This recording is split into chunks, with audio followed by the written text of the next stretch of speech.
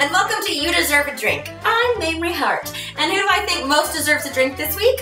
Oprah Winfrey. After 25 years of the Oprah Winfrey Show, she just hung up her mic. So we think she should sit back, relax, and drink an old-fashioned. Too many of these and you'll end up making your own face. For this drink, you're gonna need bourbon, triple sec, cherries, and oranges.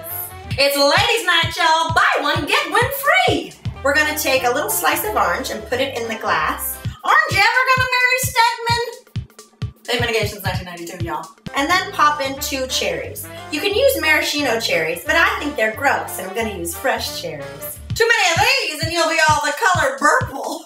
And then I'm gonna pour in about a two count of triple sec to give it some extra orange flavor. Rumor has it that Oprah, Stedman, and Danny Glover had some triple sex back in the 90s. Muddle it all up, having doubts about this drink, trust me, you're gonna love it. All right, now that you have that all muddled, you add some ice to your glass. Hey, get your own! Network. Pour in some bourbon. Oprah's been known to get liquored up, but when Gayle's out of town, she also likes to drink alcohol. And then just give it a little bit of a shake. And there you have it, a delicious, heartwarming, old-fashioned. Mmm, Drink this by the gallon.